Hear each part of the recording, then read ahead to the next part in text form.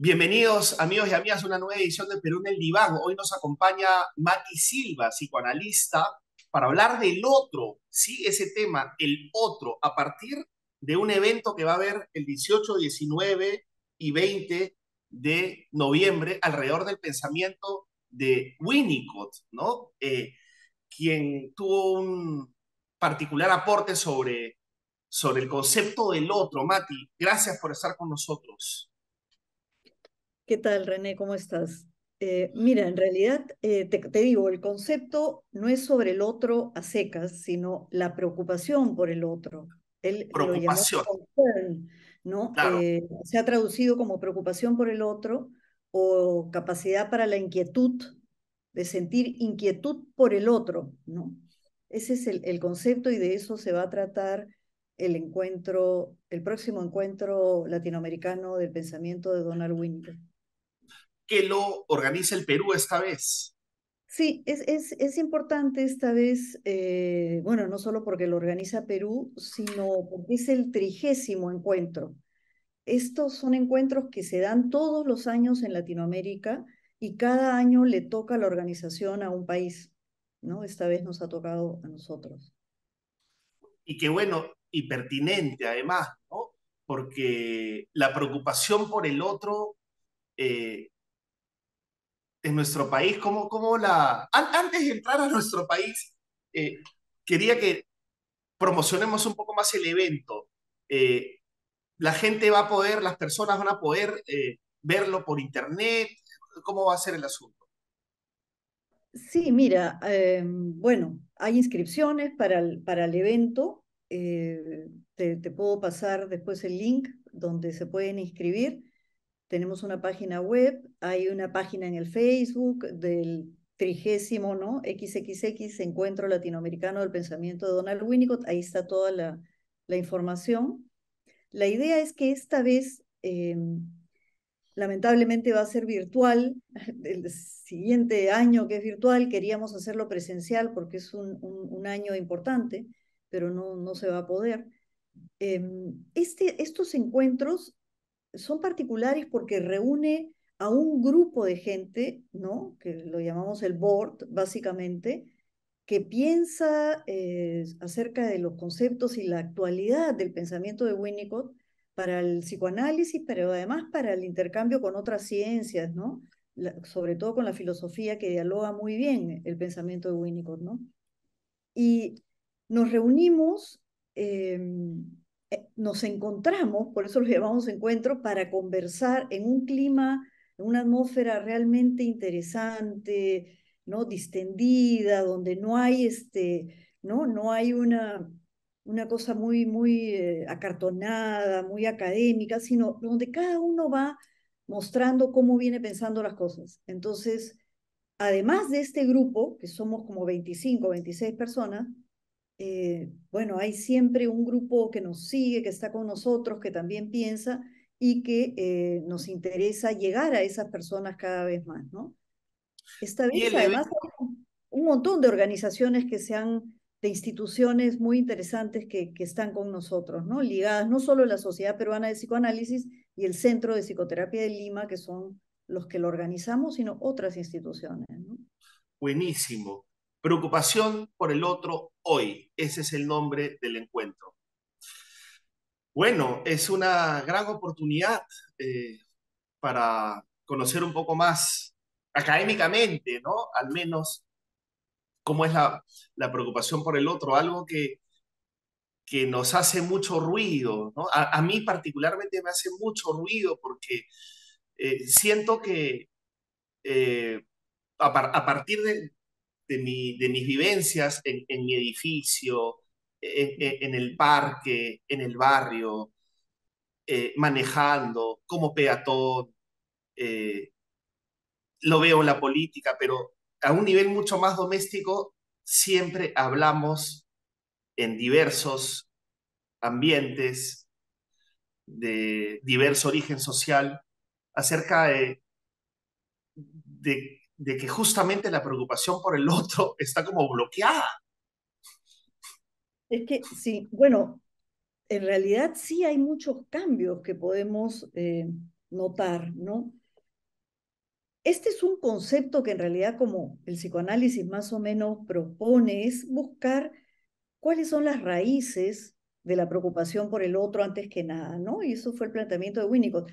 ¿Cómo surge en un niño en el desarrollo el interés por el otro, la preocupación por el otro, por dañar al otro, las ganas de cuidar al otro, ¿no? Reparar cuando alguien daña a quien quiere, qué sé yo. Eso em, es como un ámbito importante, pero la idea es preguntarnos, ¿qué sucede hoy con eso? Con aquello que viene desde el contexto, desde el ambiente, eh, desde nuestro entorno, que sabemos que es siempre cambiante. ¿Cómo son las cosas hoy? ¿Nos interesa el otro? ¿Nos preocupa el otro? ¿Cuál es el otro que nos preocupa? ¿No? ¿Quién es el otro? ¿No? Hay varios otros. Claro, porque es más fácil que te preocupe el otro en tanto familia, en tanto igual. Pero el otro diferente, el otro ajeno, ¿no? ¿Qué pasa con ese otro, no? Em, ¿hay, ¿Hay un interés, hay una preocupación por cuidar también a ese otro? Bueno, estamos viendo que en realidad la humanidad va en el otro sentido, ¿no es cierto? No solo no cuidamos al otro, nos peleamos con los otros, hay estas polarizaciones tremendas, sino que estamos destruyendo lo otro, el, nuestra casa, digamos. La tierra también es, lo otro. Sí, ¿no? Pero es, lo otro y nosotros al mismo tiempo. Nosotros, sí, sí, sí. Es que eh, eso es bien interesante porque en realidad el, el fenómeno, ¿no? La idea de preocuparnos por el otro no es solo algo que habla del otro, habla de uno mismo porque para preocuparme por el otro, estoy generando un espacio en mí. Es lo que el otro ocupa en mí de esa otra manera. Claro, pero, pero filosóficamente, eh, yo me, digamos, uno se supone que, resumiendo eh, pensamiento filosófico, yo me autopercibo en tanto hay otros. Si no hay otros, no me puedo autopercibir, ¿no? Digamos, no me puedo situar. No, sí, pero en términos ya más, digamos, afectivos, no solo de reconocimiento perceptual, ¿no? Sino en términos porque las personas pueden desarrollar, evolucionar, crecer, ser muy funcionales, trabajar, tener mucho éxito y no haber desarrollado esta capacidad realmente para preocuparse por el otro, para, para sentir que lo del otro le concierne, ¿no? Para tratar de ser más hospitalario con el otro, ¿no? no necesariamente eso se desarrolla. Y lo vemos todo el tiempo, ¿no es cierto? Lo vemos, lo vemos todo el tiempo. Mati, es irresistible hacerte esta pregunta. En nuestro entorno, y después podemos hablar de la madre tierra, el planeta, pero en nuestro entorno, valgan verdades, Castillo representaba lo otro. Hablemos claro.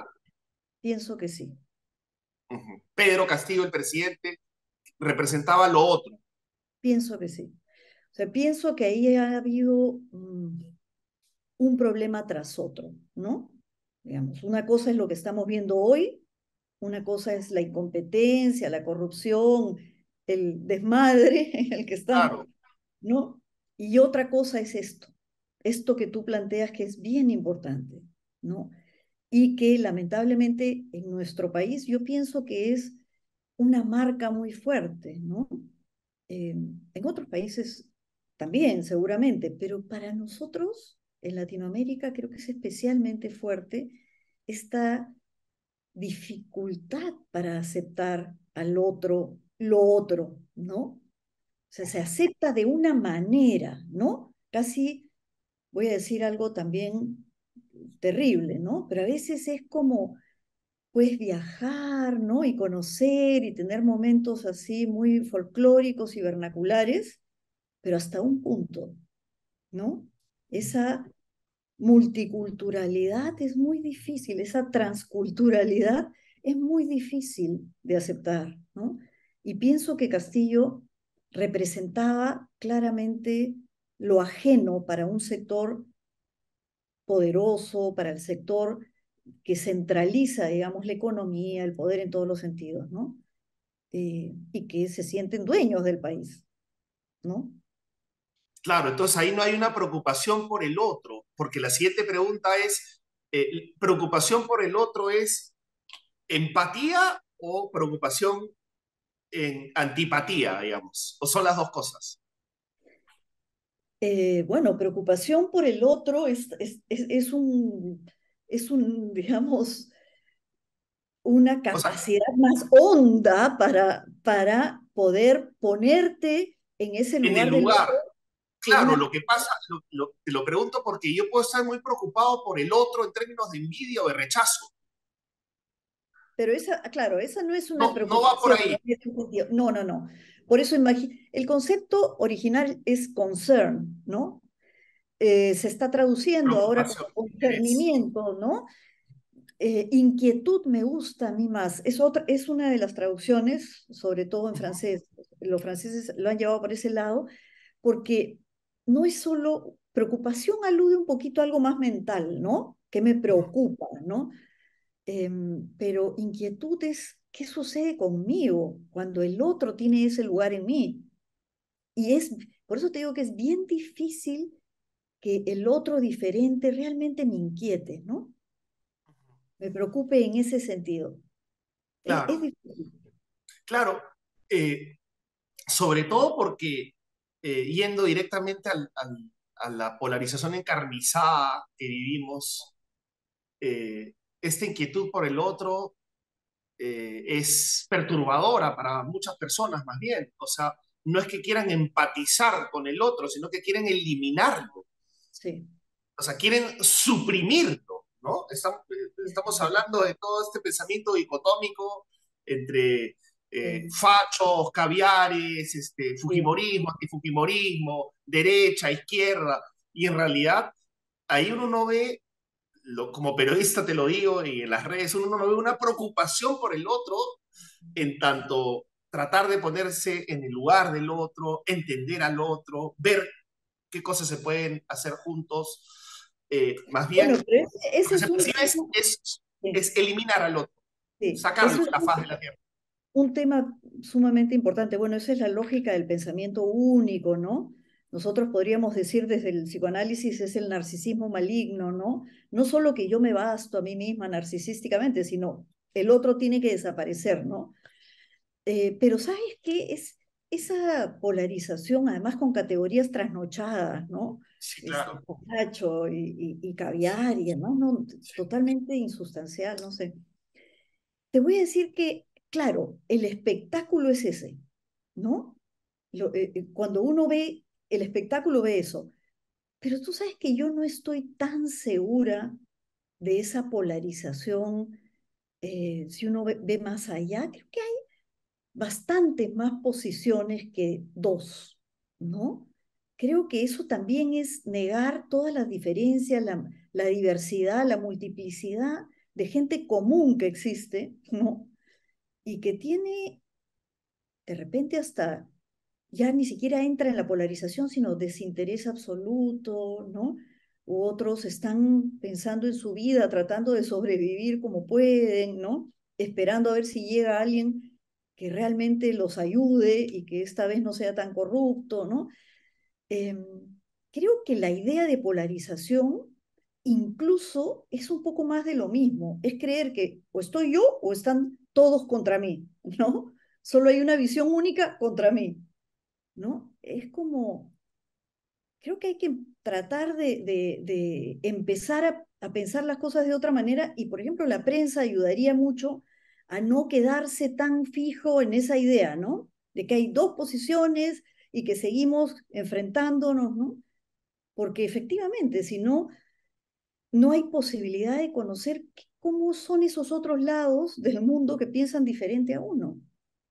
Claro, y, y, y, tú tocaste, usaste la palabra multiculturalidad, ¿no? Que suena lindo, ¿no? La multiculturalidad, pero en el fondo eh, no sé qué tan, qué tan bien administramos eh, esa otredad, ¿no? La multiculturalidad, o sea, para la foto, qué bonito, ¿no? Tú dijiste folclórico, vernacular, digamos, para eh, en nuestro entorno. Este, pero a la hora y la hora quisiéramos ser tal vez otro país, ¿no? Eh, lo, lo, los limeñitos, digamos, por llamarnos de alguna manera, ¿no? O sea, hablando claro. Sí, pero lo, lo cierto es que somos multiculturales. O sea, eso es lo terrible. Somos, somos un país de múltiples culturas, múltiples, sí. ¿no? Y sin embargo, hacemos como que no, digamos, si estamos pensando en los limeños, ¿no? Solo lo aceptamos cuando, esto es lo que yo te decía, ¿no? Cuando nos conviene, ¿no? O cuando nos parece interesante. Eso es, eso es lo terrible. Eso es lo terrible realmente. Sí, sí, porque hay, hay un divorcio, o sea, se ve una, una, un discurso muy superficial, esto de la multiculturalidad, ¿no? Todos somos peruanos, qué lindo, es como la biodiversidad, multiculturalidad, pero a la hora y la hora, este, sobre todo en los sectores más, más urbanos ¿no? de, de, de, del país y de la costa, a la hora y la hora se ve que esa otredad es solo para la foto.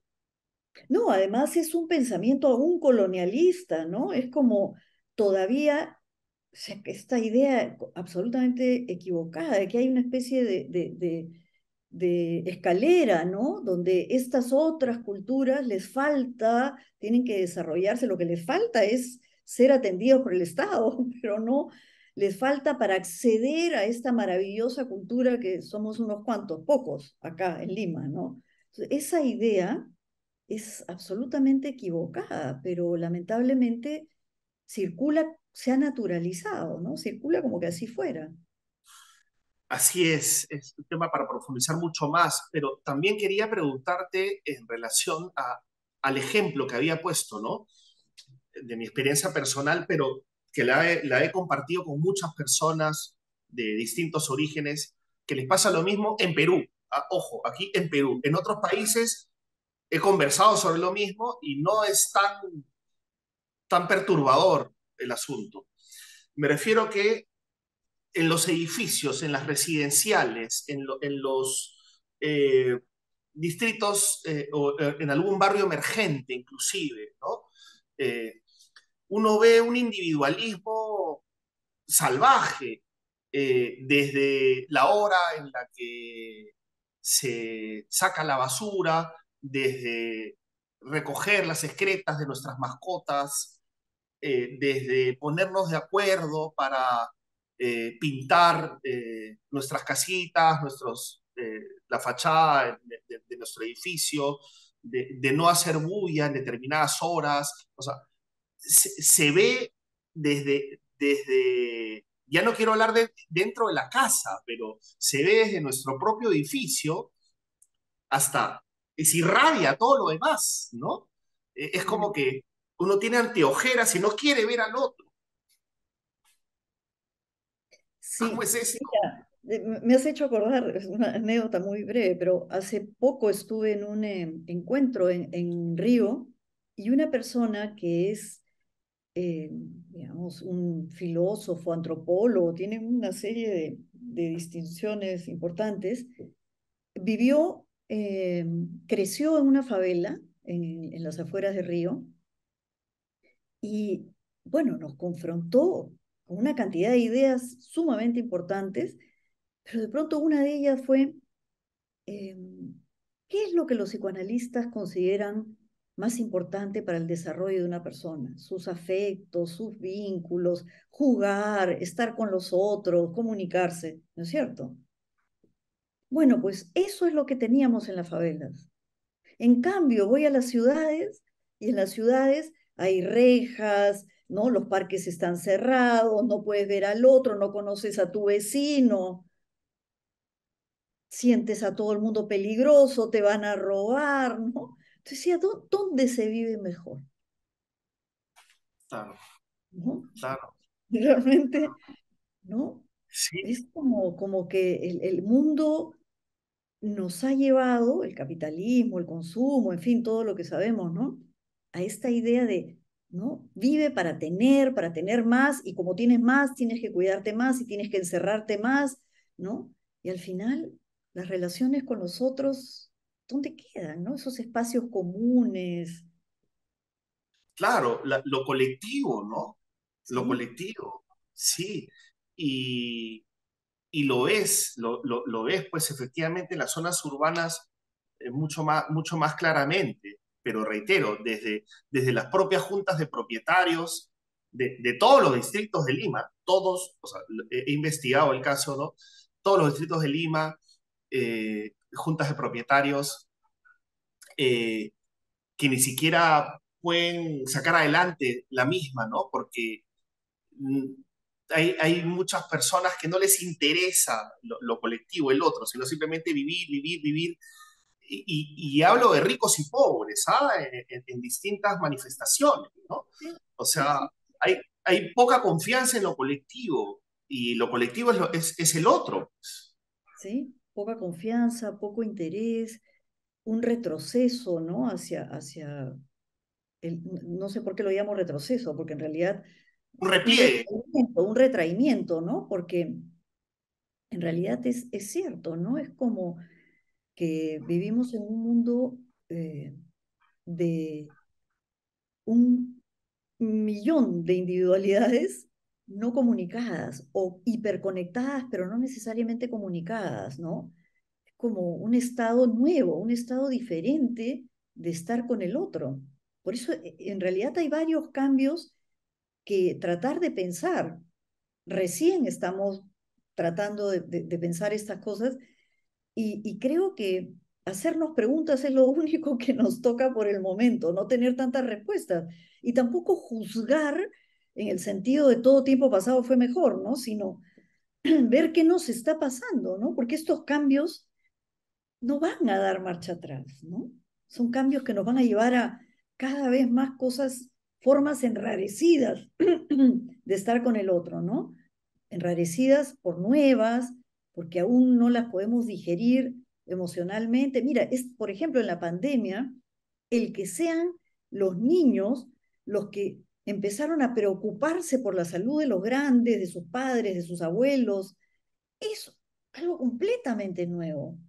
¿Qué impacto tiene eso en ellos? En chicos de 5, 6, 7, 8 años que escuchaban que podían hasta llevar a la muerte a sus seres queridos, ¿no? Imagínate claro. cómo salen a la calle. Hay unos que todavía no se quitan la mascarilla, ¿no? A pesar de que, por supuesto, sí. pueden hacerlo y les piden que lo hagan, ¿no? Así es, así es, ¿no? La pandemia eh, removió muchas teclas, pero tengo una pregunta un poco, sí. un poco, un poco dura. ¿La caridad es preocupación por el otro? O sea, por ejemplo, la Teletón es, es realmente preocuparse por el otro. Mira, yo pienso que no, en términos generales, porque creo que es más espectáculo que nada, pero si se hace, porque de lo contrario no habría ninguna ayuda que se haga. No, no, claro, pero digamos, no, la caridad no, es realmente preocuparse por el no, otro. Yo, yo, yo dono plata, entonces ya me preocupé por el otro, ya está. No, no, no, ni caridad, ni asistencialismo, ni esas cosas. En realidad, lo que Winnicott dice algo bien interesante y es, ni siquiera es este sentimiento de culpa religioso, ¿no? Que te hacen sentir culpable, ¿no? O vives preocupado en ese sentido, ¿no? Ni siquiera tampoco la idea de que si no hago esto, me van a castigar o va a pasar algo terrible con mi vida. No, la preocupación por el otro es un desarrollo realmente genuino. Es algo que ocurre, por eso es que no es, es una capacidad que no se desarrolla así nada más y que depende de los padres, del ambiente, de los otros, del entorno, para que esto se dé. Porque no es algo que me pasa a mí solamente, sino cómo responde el otro a eso. Si el claro. otro responde vengativo, si el otro no es generoso y acepta mi sentimiento de querer reparar por lo que hice o lo que sentí, tampoco se da. Así es, así es, es, es tiene que haber una retroalimentación, ¿no? Ahora, ahora, ama al, amar al prójimo como a ti mismo. Eh, eh, ¿Qué te parece? O sea, e, e, es religioso, es cristiano, pero es como que es lindo, ¿no? Eso se supone en el papel. ¿O no? Pero además, no, pero eso es absolutamente preanalítico, pre-psicoanalítico. Como si, como a ti mismo, como si hubiera una, digamos, una idea unívoca de cómo se trata uno a sí mismo. A veces querer a los demás como a uno mismo es hacerles la vida imposible, porque uno no, no, necesariamente eh, se ama, digamos, como, como, como debería. o sea, no es, tan lindo, no es tan lindo ese mandamiento. No, pues, porque uno es un ser complejo, el otro también lo es y las relaciones son complejas. Ya, pero no, no significa, digamos, no significaría amar al prójimo como a ti mismo, no significaría ponte en el lugar del otro y cuídalo como cuidarías a ti. O sea, no, no es como la esencia. ¿Ah? Mira, lo que has dicho, claro, al otro, pero no necesariamente al otro como si fuera yo. Ese no es un otro. Ajá, ok. Claro, pero si te pones de referencia tú mismo para empatizar con el otro, no es como la, la empatía máxima o es, o es al revés. Me parece, bueno, me parece que no, ¿no? O sea, en realidad, incluso te diría que es hasta comúnmente diferente. ¿Por qué? Porque muchas veces yo pienso, y es algo que le, lo pienso en relación a mis pacientes, por ejemplo, ¿no? De cómo realmente veo que se tratan a sí mismos como no tratarían jamás a alguien. Mm, ¿Te das cuenta? Entonces pueden juzgarse a sí mismos y ser terribles y verse al espejo y verse monstruosos y, ¿no? O considerarse pues sin ningún recurso eh, intelectual o nada, ¿no? Ninguna gracia en la vida. Y no harían necesariamente eso con otros. No serían tan crueles. Entonces, por eso te digo que somos seres complejos. Tremendamente complejos, sí. Cuestiono yo lo de la polarización como algo tan, no sé, sospecho de las cosas que son así, ¿no? el país está totalmente polarizado, ¿no? Hay dos posiciones. ¿Dos? Nunca es dos, ¿no? Esa es nuestra forma de reducir las cosas. Sí, claro, reduccionismo, sospechas, sí, sospechas como Freud, Nietzsche, ¿no? Claro. Sí, hay que mirar un poquito más. ¿Y Winnicott sospechaba también no? Bueno, Winnicott, mira, no, no, sé si lo ubicaría como un ser que, que, sospechara, pero sí más bien como alguien que tenía una visión bastante más benevolente del ser humano. ¿ah? Él eh, incluso es a, veces criticado por eso, como, como que era pues un psicoanalista bonachón y, y, que era un poco ingenuo, ¿no? Porque no, él, él, pensaba, por ejemplo, que no existía la pulsión de muerte en esta dualidad pulsional que planteaba Freud, ¿no? Para él, el ser humano nace no con este ímpetu por destruir, digamos, sino que es la sociedad, es el entorno el que transforma esta especie de movilidad vital que para él es la agresión del de vital, ¿no? En algo destructivo o no, o en algo creativo. En realidad entonces es qué hace el otro, tu entorno, tu, tu familia, ¿no? Para ver por dónde se va a orientar esta movilidad, esta fuerza vital, como la llama a la, a la agresión. Claro, claro. No somos seres destructivos per se. ¿Podemos volvernos sumamente destructivos? Sí. Pero para eso es lo que plantea. Eso es lo que plantea. Nos queda poco tiempo y no puedo eh, dejar de preguntarte por la corrupción. ¿La corrupción es el desprecio, es justamente lo contrario, es el desprecio para el otro? Sí, yo pienso que sí. Pienso, bueno, es, ahí sí mm, me, salgo un poquito de, Winnicott porque no, no, no, sé si él podía imaginar tantísima corrupción como la que estamos viviendo hoy en día, ¿no? Pero sí, yo pienso que es justamente el desprecio por lo común, ¿no? Es lo mío lo que importa. es, no hay vocación de servicio, no hay ideas en la política, es un negocio donde campea el más vivo, ¿no? El, la astucia, ¿no? ¿Quién invirtió menos para conseguir más? ¿No? ¿Quién hizo que no lo notaran? ¿Quién se escapó de la justicia? ¿No? Es terrible. Pero ahí yo creo que hay un básico no me importa si esto es para una comunidad, para construir algo, porque el país lo necesita. Lo único que me importa es que consigo para mí, es terrible. O para mi partido, o para mi candidatura, ¿no? Lo hemos visto.